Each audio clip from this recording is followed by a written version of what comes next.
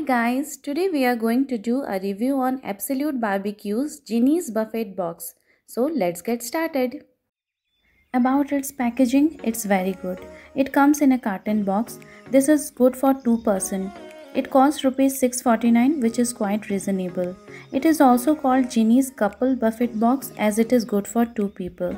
This is also available in Genie's Family Buffet Box and single box for 1 person. All the food products are properly placed inside it. The first layer consists of all the desserts and the second layer has starters and main course.